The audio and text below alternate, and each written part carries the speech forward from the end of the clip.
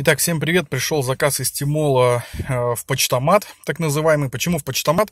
Потому что доставка домой стоит 300 с лишним рублей, а в почтомат бесплатно. Он находится около дома, поэтому мы пойдем забирать его именно в него. В принципе, нет ничего сложного.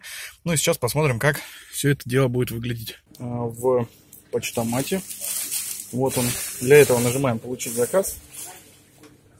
Вводим код 015 42, 45, 11. Нажимаем далее. Заказ оплачен. Далее. Все. Вот он открылся. Забираем и закрываем. Все. Ничего сложного. А главное. Все.